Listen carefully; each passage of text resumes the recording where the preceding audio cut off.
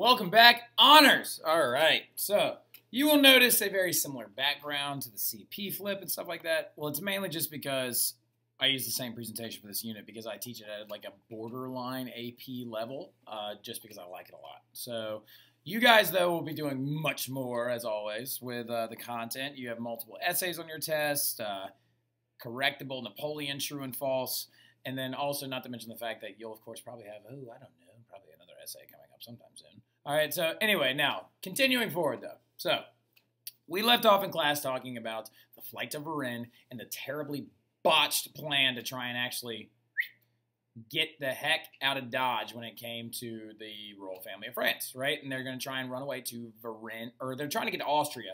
They're going to be captured at Varennes, France, right? So this is, of course, them storming into this farmhouse and getting Louis and throwing him on this table and freaking out and like beating him up a bunch, apprehending him, and then deporting him back to Paris, right? So due to this entire shenanigans, though, this thing is going to form It's called the Paris mob, right? So the Paris mob begins to kind of slowly roam the streets. Now, this isn't a technical term. You're not going to see this in any history books, really.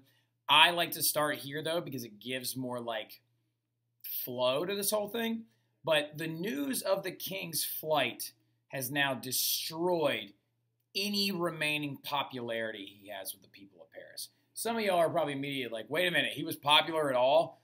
Uh, yes, Nikki he was popular. I know that this is like one of your big things. All right, so it's kind of like, uh, for example, it's there were still some people that wanted a king, right? They wanted a king, but they just didn't know what form they wanted that king to take, right? So they did a lot of different things. Like, for example, at one point they called Louis, oh, we're not going to be, he's not going to be the king of France. He's going to be the French king, and they're going to change his title a bunch and stuff.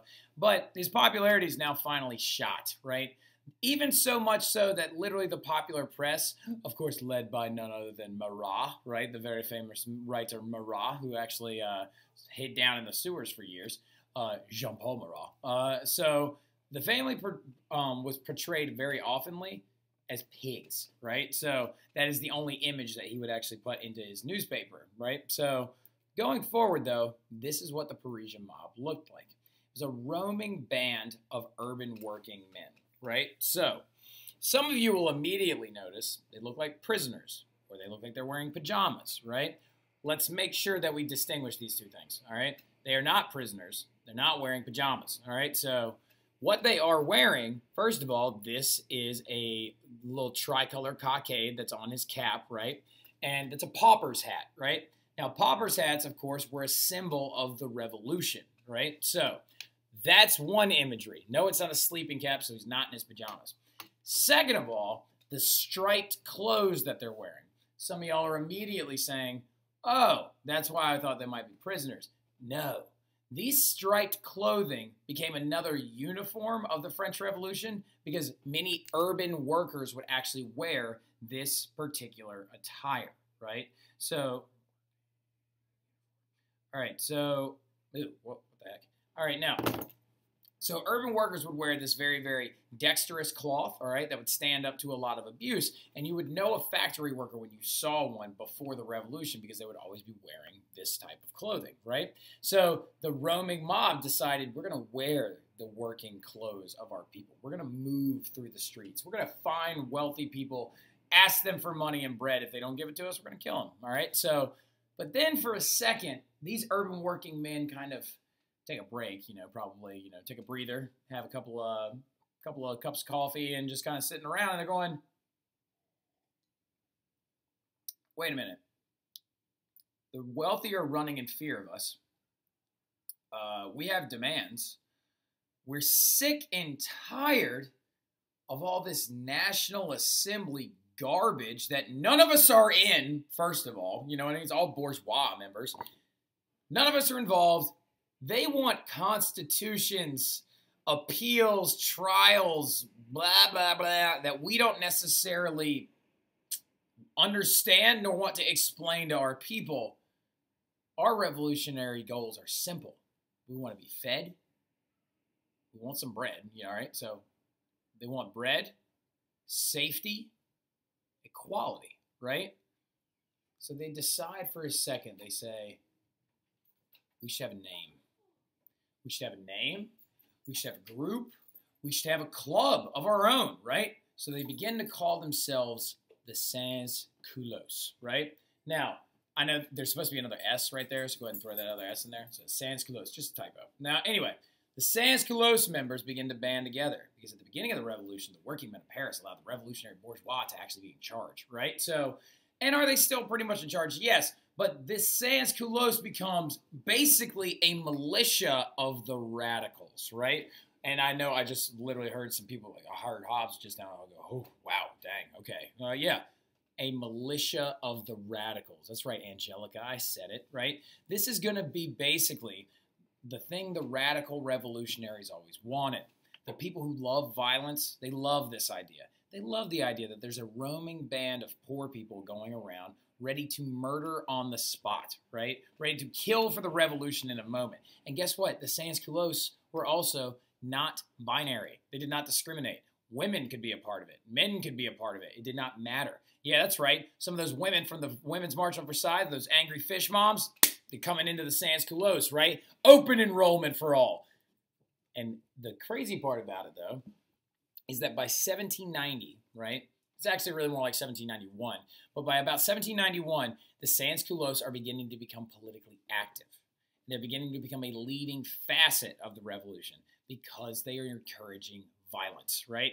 They become an element that now the rea- the relaxed revolutionaries have to kind of like deal with, right? So now let's talk about where their name comes from. All right, so let's talk about what sans culottes means in English. Okay, what sans culottes means in English? Write this down underneath it. Literally without breeches. All right, breeches, like as in like tight, form-fitting, rich man pants. All right, fancy pants, if you will. And some of y'all are like, wait a minute, Mr. Terry. You're telling me that these people are running around with no pants on? All right, so no, they're not like the no pants gang. They're not going like full toddler and wearing only a t-shirt. All right, so they're actually referring to themselves because a Sans Culottes member looks like this. All right, I know some of y'all are like, well, what about those two other bullet points? They're not that important. It's literally just stuff I've already said. All right, so now anyway, so it means without breeches. All right, because they wore loose-fitting working men's striped trousers, right? They wore the attire of the poor. And there you can see his tricolor cockade, right? Like the image of the revolution. So that is what a Sans Culottes member looks like, right? Carrying a spear, carrying a sword, sometimes carrying a gun, right? But guns, like, they take reloading and all kinds of other stuff like that. And then this is what your bourgeois looked like. Those are breeches, all right? So these are breeches. Breeches came down to your knees. They were form-fitting. They had to be tailor-made, right? And then you had long stockings that went up underneath them, all right? So sometimes some little bows on the sides. And then an ascot, and then also, of course, multiple layers of clothing that the Sans Culottes couldn't afford, right? So they called themselves the Sans Culottes, which means literally without pants or without breeches, all right? So, but they are very, very violent people without breeches, all right? So going forward, though, this, of course, is where we've already discussed this is the palace of which they are being held in, right? So within the Tuileries, the royal family is under lock and key. House arrest, actually. All right, so here is the crazy part. One of the initial actions of the Sans Culottes is to attack the Tuileries, right? The royal family is living under house arrest in the Tuileries Palace, and an angry mob by June 20th breaks into that building led by the Sans Culottes members, right? They find their way to the king and they drag him out into the streets, right? Now, a lot of you are like, oh, yeah, let's go. This is where they're going to execute him. Not yet. This was much more of a public display, right? This was a display of the Sans Culottes' ability to sway the revolution at any moment and to actually, you know, show that they could get to the king at any moment if they so felt like, right? So they could jump in there and attack the king if they so felt like, right? Because they're recruiting members of the military into the Sans Culottes. They're recruiting women. They're trying to show their physical dominance, right? And to try and insult the king, they decide to publicly embarrass him.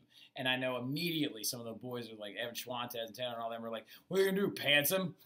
Get it? Sans Culottes, king handsome. No, they're not going to do that. But what they do instead is they force him to wear one of those caps of the revolution, right? They drag him out and they put that thing on his head, and the news media goes in a circus. They freak out, all right? They are flipping out left and right and be like, look, look, the king's wearing a revolutionary cap. How hilarious is that? They're trying to show the authority of which he does not have anymore. Do- dozens, dozens of people died at this attack on the Tuileries. The ultimate irony about the attack on the Tuileries is that in our revolution, we are like, oh, we had a war with the Brits. You know what I mean? We had a war with the Brits just because we wanted some freedom. No taxation without representation. Haha. The French killed dozens of people for a hat. All right. So, like, that's pretty scary when you think about it. All right. Now, going forward into it, though, another way that they try to show their dominance. Come here, Rufio. Come here, baby. Hey, hey. They try to get a new flag, right? So, following the attack on the Tuileries and following all these revolutionary movements, the French flag is officially going to be changed. So, this one right here was the old French flag. The uh, what you call it? The fleur de lis. Give me your. The fleur de lis were a symbol of the royal ruling house of France, particularly the Bourbons, right? So they decide that they're going to instead adopt this new flag. And oh, come on, fine, you're no fun. All right. So anyway, adopt this new flag that shows liberty and equality and tries to show the flanking of the people around the outside of the king, right?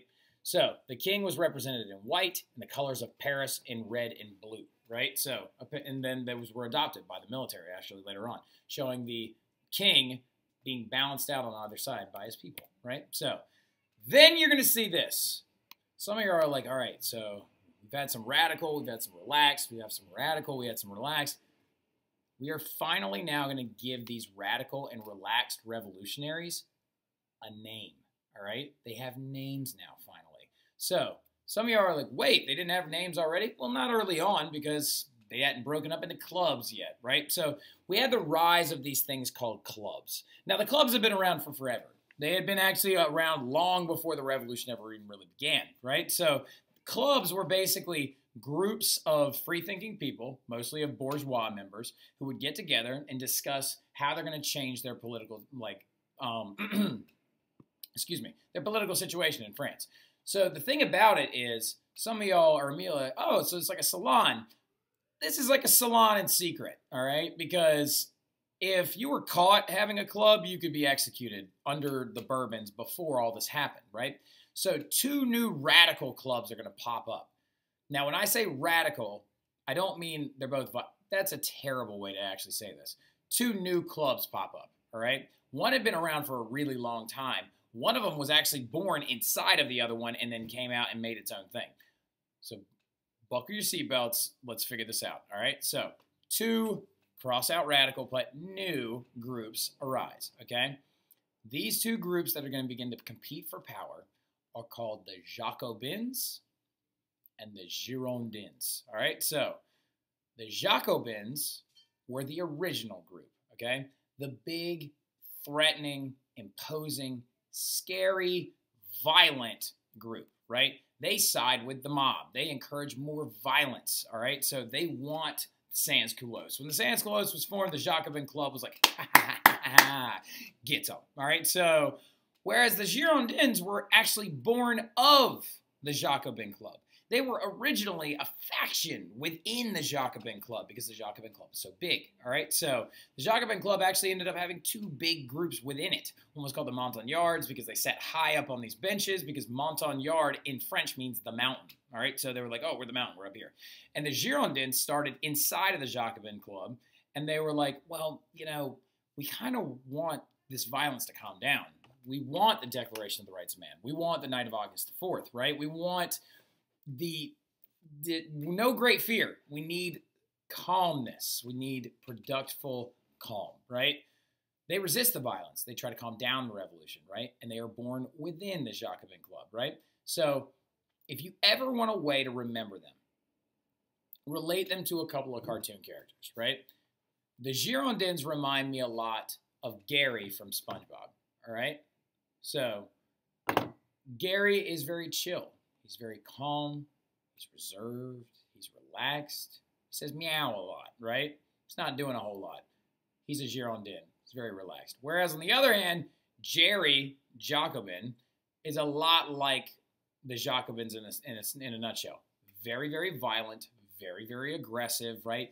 Beats up a cat with a frying pan, frying pan, shoves his tail into a light socket, does a lot of really mean stuff, right? So that's the Jacobin cartoon character, Jerry, right? So going into this, though, the Jacobins are going to be having a field day with an event called the September Massacres, right? So during this entire phase, the French are recruiting a military because they're very, very upset with the fact that the Austrians were probably about to aid the Royals, right? They were about to help out the royal family and actually progress and try to suppress the revolution, right? And so they're getting real fired up right now. And they're like, the Austrians, we're going to end up going to war with those guys, right? I think we can take the Austrians. We're fired up. And then they start hearing that a bunch of other European countries might help the Austrians, right? And they're like, I'm still fired up. I think we can take them, but like, but wait a minute. We have all these people in these prisons that are enemies of our revolution, right? They're aristocrats of the Second Estate. They're former sword nobles, right? They're uh, they're the priests from the civil constitution of the clergy that refused to take the oath of allegiance, right? If the Austrians got here, they could go to the prisons and recruit new members of their army to help fight the revolution. Oh, no, no, no. So a roaming group of poor, particularly Sans Culottes members, began to go into every prison within Paris and actually empty the prisoners out into the streets and execute them in alleyways, chasing them all over the place and things like that. September massacre casualties. Let's find out how many people were actually executed. I think it's a pretty high number. Yep, more than a thousand people killed in 20 hours. All right, so with this entire thing, by like half of the prison population of Paris is going to be emptied out into the streets and publicly executed in very vile and grotesque ways with axes and swords and pikes and a lot of other crazy things. And the sad part is, is the Jacobins encouraged this, right? They wanted it. They told them to keep going. So the monarchy following this, though, and its inability to actually control the government going in for into this is going to be officially abolished right? So there is now no more monarchy of France, okay? The king and the queen are officially arrested, and since there's now a lot of room in these prisons, they're going to be some of its newest members, okay? So since the constitutional monarchy is now over, and the Declaration of Rights of Man and what it was trying to do all Magna Carta style, there you go, it's going to be abolished, and France is going to become a republic, right? What they're going to call themselves is the French First Republic right? So the new government is considered the French First Republic. And as a showing of their awesomeness, dexterity, and amazing will to fight against everything, they decide, you know what? We're going to go to war, right? So they decide to declare war on Austria, right? And in this, this is called the War of the First Coalition, right? Now let's talk about coalition real fast, right? Coalitions are groups of people. So the coalition was actually Austria, Great Britain, Holy Roman Empire, uh, parts of Italy, right? They decide to link up together and they are going to fight the French and actually suppress this revolution together. This seems like a cut and dry victory for the coalition armies. But what ends up happening is under their new two party leadership, they actually win.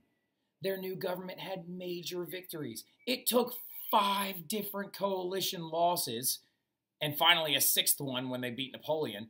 But yeah, France was five and one against coalition armies. That's insane. But they also had a draft and like a lot of other stuff going for them.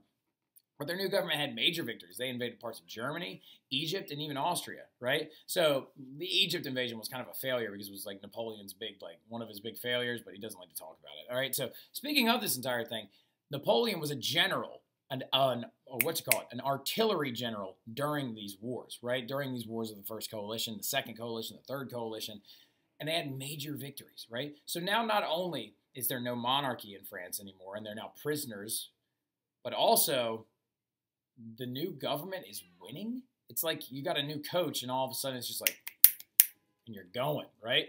So during this thing back at home, they also begin to create these things to keep the people happy, to keep the Sans Culottes members all riled up and keep them excited, right? They begin to have revolutionary tribunals, okay? What a revolutionary tribunal is, it was created by both the Girondins and the Jacobins to put political leaders on trial, particularly members of the royal family, uh, the Second Estate members that were in these prisoners prisons that actually survived. They actually talk about the revolutionary tribunals in a very, very famous book called The Tale of Two Cities. Gianna, I know you're reading that. So, and then usually these result in death. All right, so no appeal system whatsoever. There is a jury, but it's very biased. It's made up of Jacobin and Girondin members. And the trials particularly hate the royal family and members of the former Second Estate. And these are not calm trials. They look like this. They are insane. They're huge. Their membership is gigantic. There are people throwing things, yelling, screaming. Uh, people every time they go to vote for death, people chanting death, death, like just like flipping out. It is not what you would imagine as a calm proceeding. It is very, very, very, very, very intense. Okay, the judge would usually sit up on high, and their accusers would all be directly facing the accused. Right? It's a very intense, a very, very intense thing.